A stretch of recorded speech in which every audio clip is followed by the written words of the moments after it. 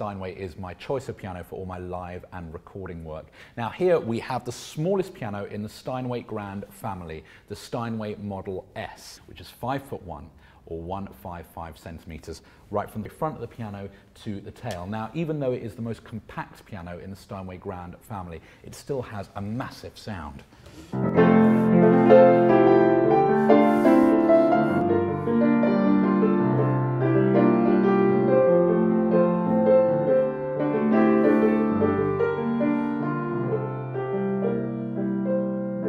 Even though the Model S is the smallest piano in the Steinway Grand family, it still lends itself to a huge symphonic sound that can be used for a variety of applications, even in a live environment, a recording environment, or even the home environment. Because it's a compact piano, it can fit into those small spaces.